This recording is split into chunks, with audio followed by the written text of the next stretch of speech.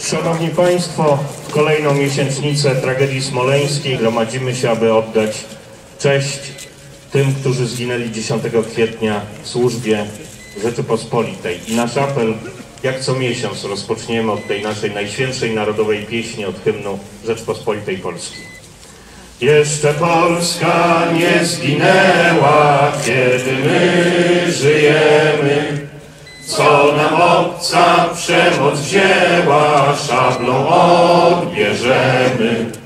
Marsz, marsz Dąbrowski, z ziemi włoskiej do Polski, za Twoim przewodem złączym się z narodem.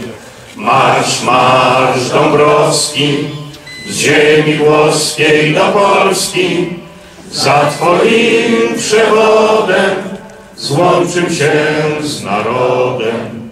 Przejdziem Wisłę, przejdziem Wartę, będziem Polakami. Dał nam przykład Bonaparte, jak zwyciężać mamy.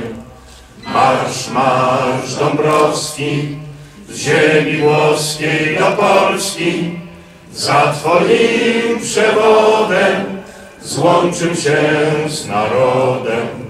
Marsz, marsz Dąbrowski, z ziemi włoskiej do Polski, za Twoim przewodem złączym się z narodem. O zabranie głosu prosimy Pana Premiera Jarosława Kaczyńskiego.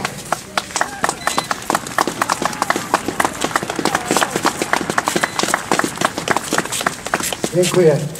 Szanowni Państwo, wszyscy wiemy, dlaczego tutaj przychodzimy, dlaczego czego każdego dziesiątego miesiąca jest msza w katedrze, są kazania, dziś mieliśmy bardzo piękne kazanie, jest marsz.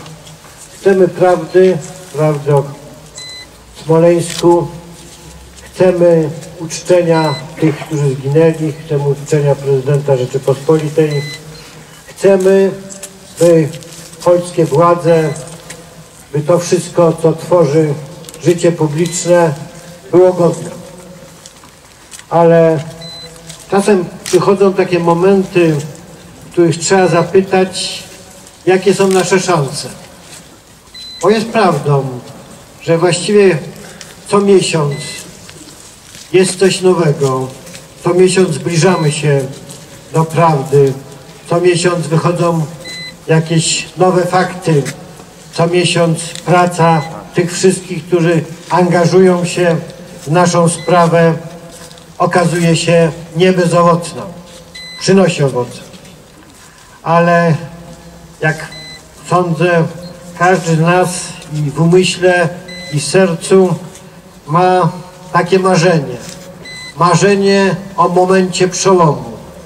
Marzenie o tym, że przyjdzie taki dzień, czy szereg takich dni, w których wszystko się zmieni, w których będziemy mieli nieporównanie większe niż obecnie szanse na to, że prawda zostanie ujawniona, że ci, którzy na to zasłużyli, zostaną uczczeni, a ci, którzy na to zasłużyli, zasłużyli zostaną ukarani.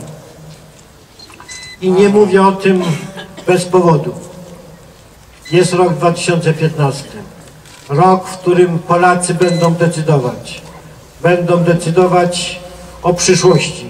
O przyszłości Polski, o przyszłości naszego narodu. O wielu sprawach. Musiałbym bardzo długo mówić, żeby je wymienić. Ale także o tej sprawie tak ważnej dla naszej przyszłości właśnie, dla której tutaj się gromadzimy. Tym momentem który zdecyduje, będą wybory. Będą wybory prezydenckie i parlamentarne. Ja tutaj w tym miejscu rzadko mówiłem o sprawach tego rodzaju, ale jestem głęboko przekonany, że dzisiaj mówić powinienem, bo szansą na prawdę, szansą na sprawiedliwość, na godność jest właśnie ten moment. Ten moment, który przed nami. Musimy pamiętać, że zwyciężyć można tylko wtedy, jeżeli stać nas będzie na najwyższy wysiłek. Musimy się na ten wysiłek, wspólny wysiłek zdobyć.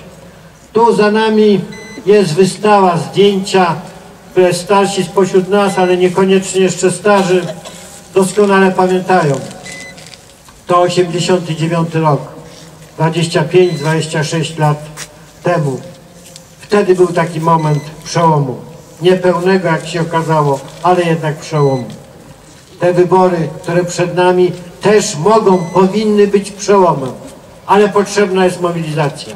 Musimy pamiętać, że trzeba być przez te najbliższe miesiące, przez najbliższe 9-10 miesięcy, bo tyle nas w tej chwili dzieli od wyborów parlamentarnych, czynnymi na co dzień, nie od święta. Musimy pamiętać, że od nas zależy to, jak będzie wyglądała Polska za rok. Czy to będzie Polska kłamstwa, czy prawdy? Czy to będzie Polska sprawiedliwa, czy niesprawiedliwa? Czy to będzie Polska z podniesioną głową, Polska godna, Polska broniąca praw swojego narodu i swojego państwa? Czy to będzie Polska na wszystko się zgadzająca ze spuszczoną głową? Powtarzam, musimy dziś o tym pamiętać. Musimy pamiętać, że ten rok przyniesie nam wszystkim, którzy uczestniczą w tych manifestacjach, ale także całemu narodowi zwycięstwo wtedy, jeżeli ta najbardziej czynna i najbardziej świadoma część narodu się zmobilizuje. I o to dzisiaj proszę. Proszę o mobilizację. Proszę o to, by Państwo, którzy tutaj przychodzą, a więc ludzie czynni, ludzie gotowi coś poświęcić, poświęcili w tym roku więcej, więcej niż w zeszłym, więcej niż 2 czy 3 lata temu, bo naprawdę warto, bo jest wielka szansa, bo mamy świetnego kandydata na prezydenta, bo mamy naprawdę szansę na to, by przyszło zwycięstwo, nasze zwycięstwo.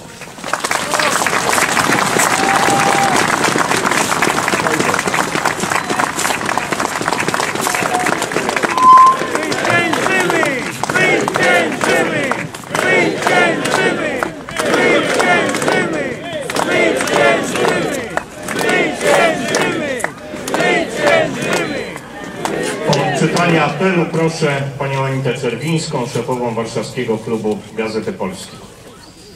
Szanowni Państwo, Polska potrzebuje bohaterów. Polska potrzebuje prawdziwych autorytetów. Polska potrzebuje uczciwych polityków. Prawie pięć lat temu straciliśmy wielu wspaniałych przedstawicieli naszego państwa. Brakuje nam ludzi takiego formatu jak ci, którzy zginęli pod Smoleńskiem. Nie możemy o nich zapomnieć, tak jak nie możemy zapomnieć o prawdziwych przyczynach śmierci i osobach za to odpowiedzialnych. Ale dzisiaj naszym najważniejszym obowiązkiem, zarówno wobec tych, którzy zginęli, jak i całego narodu, jest wprowadzenie na najważniejsze urzędy w państwie ludzi, którzy będą kontynuować ich dzieło.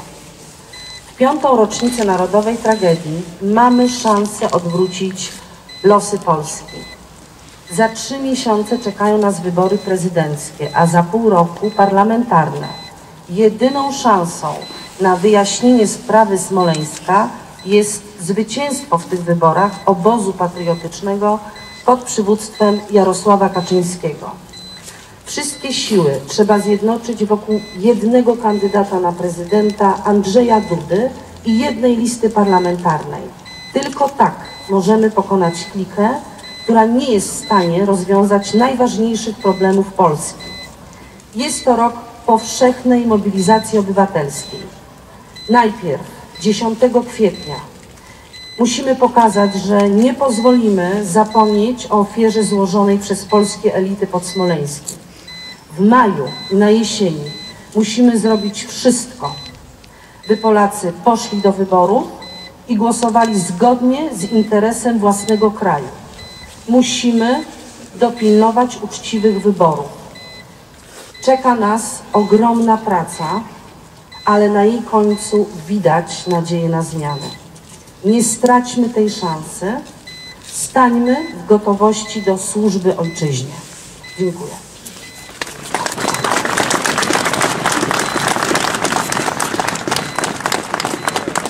Drodzy Państwo, w intencji ofiar tragedii smoleńskiej, w intencji ojczyzny, ale także w intencji dziś przypada 75. rocznica pierwszych zsyłek naszych obywateli z Kresów Rzeczpospolitej, zsyłek sowieckich w głąb Rosji. W tych wszystkich intencjach bardzo proszę księdza Stanisława Małkowskiego o poprowadzenie naszej wspólnej modlitwy. Módlmy się wieczny pokój dla wszystkich poległych na Golgocie Wschodu.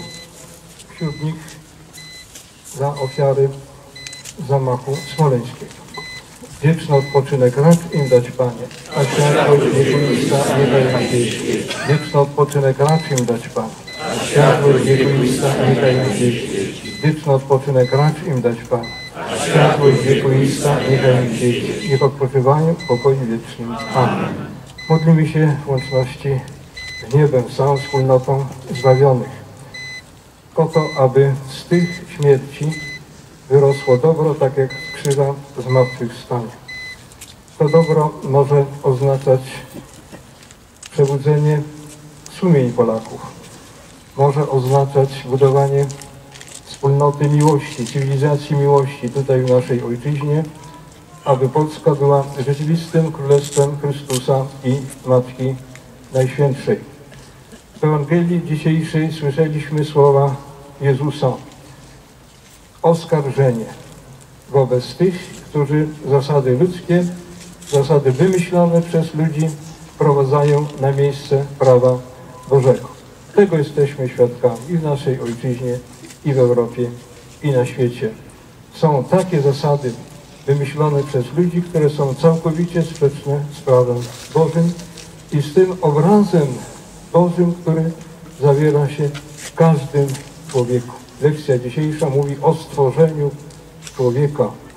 Bóg szóstego dnia, czyli w piątek, człowieka stworzył na swój obraz. I w piątek człowieka zbawił po to, aby obraz Boży odnowić każdym z nas. Obraz zatarty przez grzech, przez nieposłuszeństwo wobec Boga i wobec Jego świętego prawa. Na czym ten obraz Boży polega?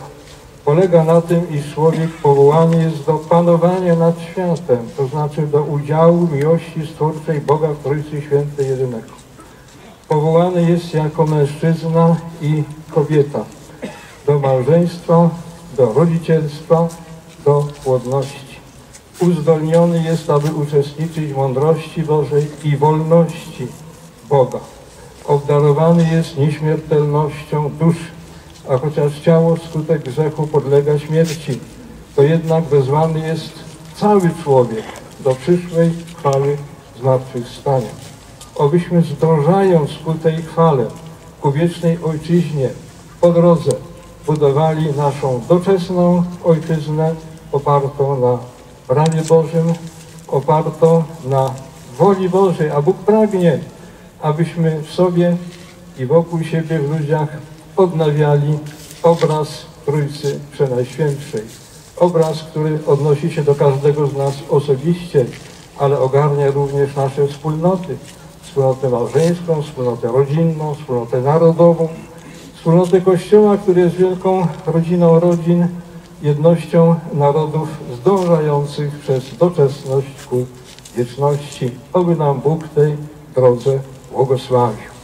Pomódlmy się więc o Boże wsparcie dla naszych słusznych dążeń, aby ojczyznę naszą ocalić, tak jak pragnie tego Jezus Chrystus, a wraz z Nim Matka Najświętsza, Królowa Polskiej Korony. Oby Chrystus królował naszej ojczyźnie i gdy doświadczeni jesteśmy władzami, które poddane są złu, rządzą nami złodzieje, kłamcy, złoczyńcy, częstokroć zresztą udający katolików, oby przestali świętokradzko przyjmować komunię świętą, oby nie znajdowali duchownych, którzy grzesząc ciężko takiej świętokradzkiej komunii świętej im udzielają.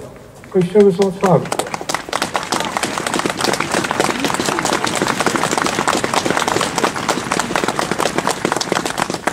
Wejść do kościoła może każdy, ale nie każdy ma prawo przyjąć komunię świętą. Nie każdy może otrzymać rozgrzeszenie. Mówi Pan Jezus, którym odpuścicie grzechy, są im odpuszczone. Którym zatrzymacie, są im zatrzymane. Kiedy grzechy są zatrzymane? Wtedy, gdy kto grzechu, w kłamstwie, zbrodni trwa.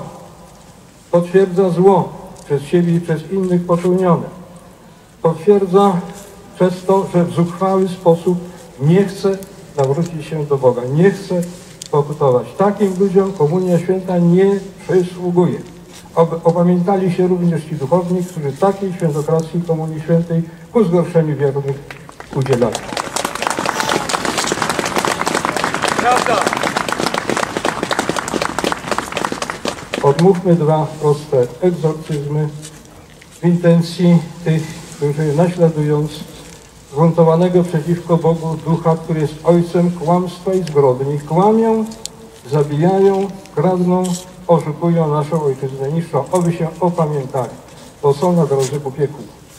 Potężna niebios królowo i Pani aniołów, Ty, która otrzymała się od Boga, posłannictwo i władzę, by zetrzeć głowę szatana, pokornie Cię prosimy, rozkaz chłopcom anielskim, aby ścigały szatanów, stłumiły ich zuchwałość, a zwalczając ich wszędzie, wtrąciły do piekła. Amen. Amen. Święty Michale, Archaniele, pomagaj nas w walce, a przecież niepodliwości zasadzką złego ducha, bądź naszą obroną.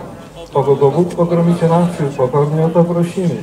A Ty, Książę Wojska Niebieskiego, szatana i inne duchy złe, które na zgubę dusz ludzkich po tym świecie krążą, mocą Bożą, trąć Piekiełło. Amen. Odśpiewajmy apel jasnowódcy. Maryjo,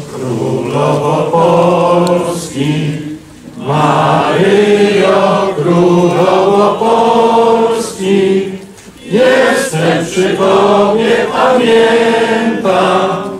Jestem przy Tobie, czuwam. Jestem przy Tobie, pamiętam.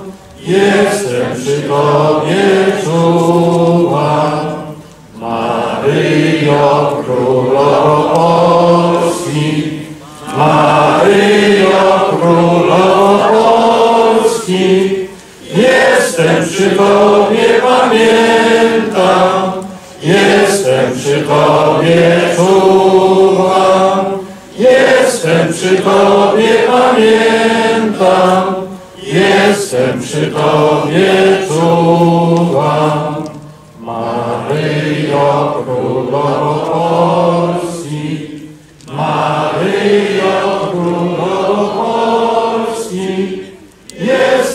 przy Tobie, pamiętam. Jestem przy Tobie. Jestem przy Tobie, pamiętam. Jestem przy Tobie, od połowy XVII stulecia, dokładnie od 1 kwietnia 1656 roku od ślubów włoskich króla Jana Kazimierza, przedstawicieli władzy politycznej, państwowej, kościelnej, we Lwowie przed obrazem Matki Bożej Łaskawej. Te śluby były wówczas wygłoszone. Oto wzywamy Matkę Najświętszą jako królowę polskiej korony. Obyśmy mogli wraz z nią wzywać Jezusa Chrystusa jako króla Polski. Króluj nam Chryste, Zawsze i wszędzie. ponieważ w tej fasadowej demokracji, która w trzeciej RP trwa, trochę demokracji nam jednak jeszcze pozostało. Abyśmy z tej odrobiny demokracji skorzystali. Właśnie w tym duchu 21 lutego w sobotę odbędzie się ogólnopolska konferencja środowisk, stowarzyszeń i obywateli Rzeczpospolitej zatroskanych o prawidłowy, niezakłamany, niesfałszowany przebieg wyborów w tym bieżącym 2015 roku. Wydarzenie to rozpocznie msza święta o godzinie 10, którą na Jasnej Górze odprawi Jego Ekscelencja biskup Antoni Pacyfik Dzydycz. Potem będzie odmawiany różaniec za ojczyznę. A sama konferencja rozpocznie się o godzinie 12 w Akademii Polonijnej w Częstochowie przy ulicy Puławskiego 4.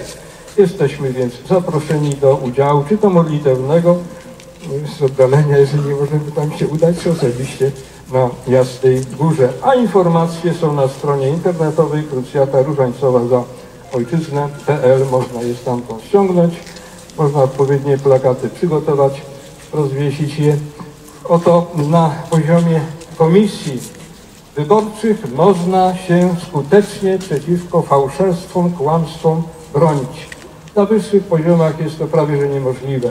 A więc podpuśćmy elektronikę diabłu i jego sługom. Niech się bawią sami. My natomiast skutecznie dokonajmy kontroli wyborów na poziomie komisji wyborczych. I to będzie wynikiem wiążącym. Ten jeszcze wymiar demokracji nam pozostał. Niech Pan Jezus od Pana Święta nam dopomogą, ale z tych wyborów wynikło dla nas dobro. Rzeczywista przemiana, rzeczywista przemiana władzy naszej ojczyzny. Udzielę błogosławieństwa wszystkim, którzy chcą Polski wolnej, sprawiedliwej, niepodległej, solidarnej, Bożej, Chrystusowej i Maryi.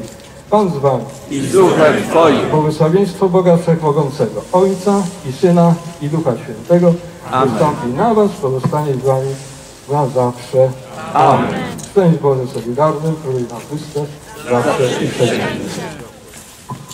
Boże, coś Polskę przez tak liczne wieki otaczał blaskiem potęgi i chwały, coś ją osłaniał tarczą swej opieki od nieszczęść, które przygnębić ją miały.